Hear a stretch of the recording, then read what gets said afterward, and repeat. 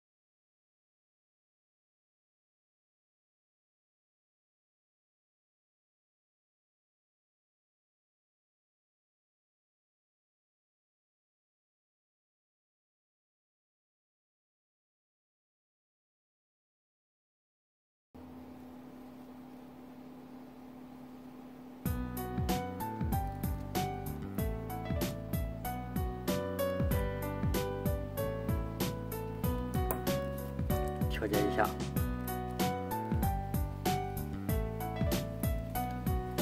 这翅膀稍微展开一点，